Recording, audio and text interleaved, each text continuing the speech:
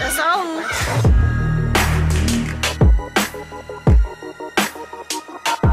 do Tribunal de Contas da União decidiram liberar refeições com lagosta e vinhos importados contratadas pelo Supremo Tribunal Federal.